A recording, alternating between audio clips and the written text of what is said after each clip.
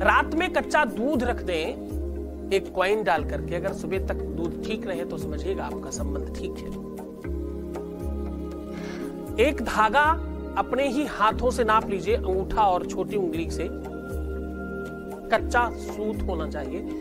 टेरी काट या बहुत चिकना वाला वो बहुत वैसा नहीं हो। सूती, विशुद्ध सूती धागा जो कलाई में बांधते हैं। उसमें भी आजकल बड़ा टेरी काट और वैसे आने लग गए। बहुत देशी वाला।